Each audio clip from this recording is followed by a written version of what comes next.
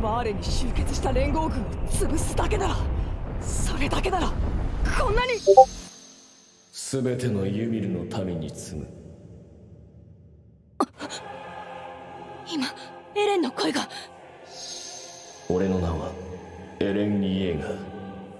始祖の巨人の力を介し全てのユミルの民へ話しかけている。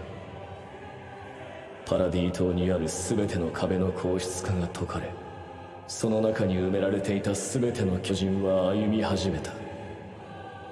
俺の目的は俺が生まれ育ったパラディ島の人々を守ることにある。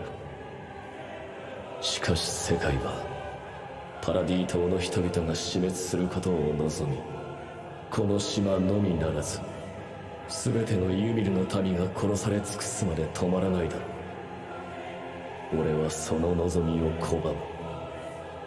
壁の巨人はこの島の外にある全ての地表を踏み鳴らす。